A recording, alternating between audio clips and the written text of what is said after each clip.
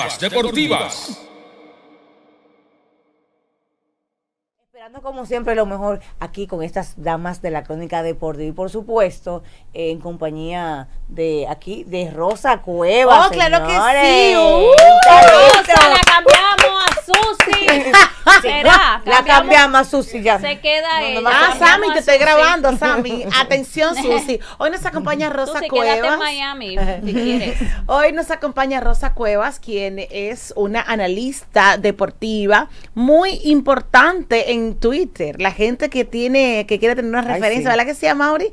De lo que es el deporte y el análisis y las estadísticas y todo, pues Muy dura. seguir a Rosa Cuevas. Bienvenida y gracias por acompañarnos y um, aportarnos en el día de hoy con tu presencia. Gracias a ustedes, chicas, y aprovechar la oportunidad para felicitarlas por el espacio.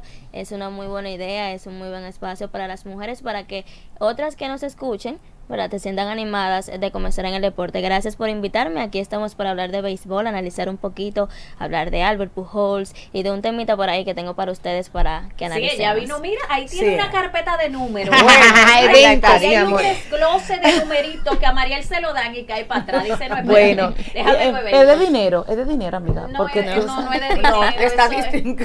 Tú sabes.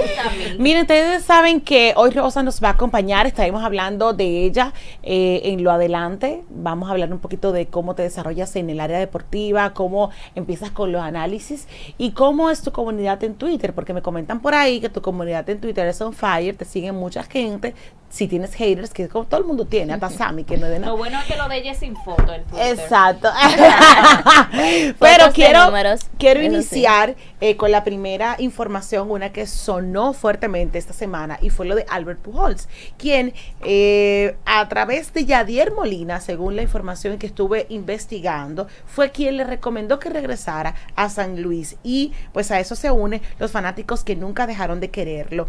Hacía mucho gesto, con mucho cariño y mucho amor a su fanaticada, pues Albert Pujols regresó al mundo de los Cardenales de San Luis.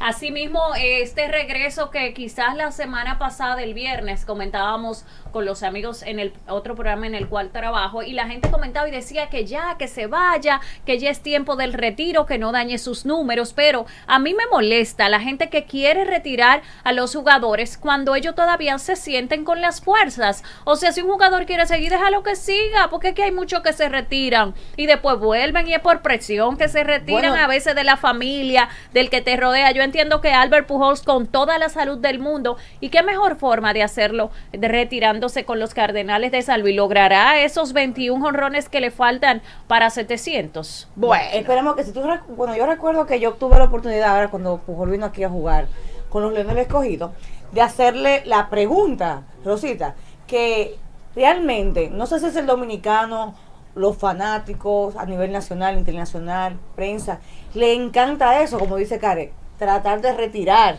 al atleta. En este caso él me respondió que cuando él se sienta eh, en- en que el cuerpo realmente se sienta que ya no vas, él lo va a hacer. Mientras tanto, él no va a dejar de hacer lo que siempre le gustó y, hace- y, y se dedicó, que es jugar béisbol. Eso fue la respuesta que me dio aquí en la pelota invernal.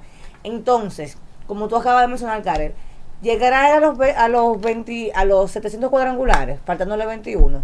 Posiblemente sí, posiblemente no, porque ya le está acostumbrado a eso. Todo depende de la salud No, y de la oportunidad Y también. ahora con el bateador designado, creo que se le puede hacer un poco, un poquito, creo mejor. ¿Qué opina usted. Rosita? ¿Llegará a los 700 honrones? ¿Le queda todavía? ¿Qué busca Pujols con seguir jugando un año más? Mira, no sé si le queda, sería la palabra, o sea, si le queda en el tanque, porque Albert Pujols es un bateador con bastante talento. El problema de él es el declive que ha venido presentando temporada tras Tú puedes temporada. mirar a ella también por si Y te hacen un corte, mi amor, para las redes. temporada tras temporada y yo creo que Albert Pujols puede llegar a los 700 cuadrangulares, pero como dijo Jaime, tiene que depender de las oportunidades que le den, porque aunque San Luis lo quiera mucho, la fanaticada lo quiera mucho y lo respeten, no le van a quitar la oportunidad a otra persona que puede ayudar más al equipo que Albert Pujols, porque aunque es un jugador muy respetado, ya está en declive, son 41 años, 21 temporadas, van a ser 22 ahora. Entonces es tiempo de que se le dé el lugar a otros jugadores. Él lo puede lograr porque es un muy buen bateador, pero de que le dé la oportunidad para que la consiga hay que ver. Sí, ellos Depende lo de van- cómo él Yo entiendo eso. que ya todas esas cosas se han hablado. Recuerden que eso no es a lo loco, esa firma de Pujols fue bien meditada y bien trabajado. Yo creo que, que sí, que ya hay un ese ese ese tema con los Cardenales que sí ven y lo van a saber manejar para ver, bueno, Y- sí, si se retira por todo lo alto. No, y que también fue 2.5 millones por un año le dieron. Así ya es. eso ya ellos ese dinero ya lo tienen ahí con la publicidad nuevamente, con el regreso, con esa despedida. No, no, y los señores con en San Luis son locos Lo con aman Albert lo Pujols. aman. O sea, yo fui a esa ciudad y yo suelo decir que era dominicana, mi amor, me brindaban, pero era por Albert Pujols. Ay, qué fina, ¿tú te bebé. Vamos, Mauri, que no den visa, que no den visa de trabajo, ¿verdad? Miren, es importante destacar los- lo que ustedes decían y es el hecho de que la fanaticada que ellos tienen no solamente es un público en general, sino que sus propios compañeros, los mismos peloteros, los mismos jugadores, pues se sienten identificados con Albert Pujols, tienen un respeto por él y yo creo que eso también impulsa bastante. Una de las cosas que más eh, creo que como ser humano nos ayuda es cuando tú sientes el apoyo de las personas que están a tu alrededor, sin importar el momento en el que tú estés pasando, se lo digo por experiencia, sin importar el momento en el que tú estés pasando, cuando tú sientes el apoyo de los demás, algo te hace resurgir. Y yo creo que este puede ser una, una buena oportunidad o un buen chance para Albert Pujols de hacerlo, aunque se vaya a retirar, ¿verdad? Porque hago esto, doy un poco de pelo, me gano un milloncito, lo pongo a invertir, no sé qué, y ya, ¿verdad?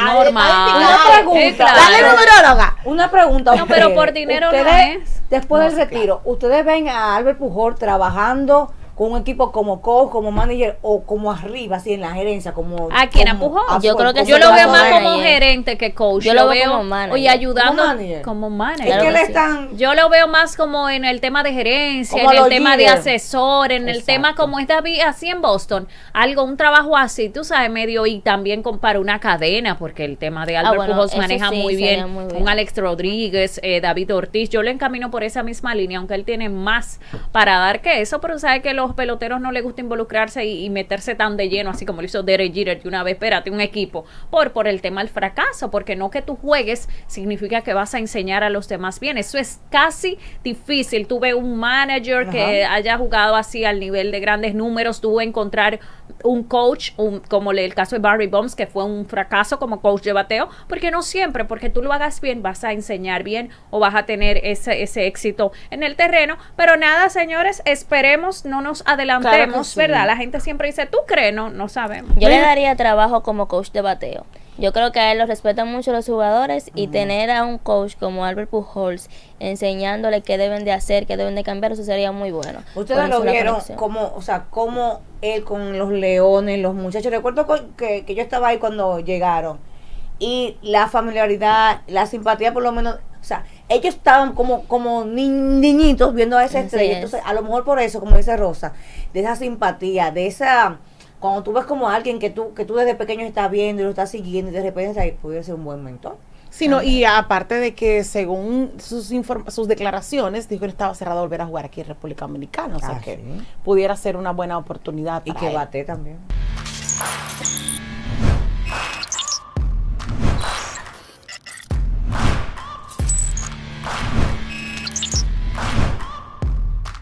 Curvas Deportivas.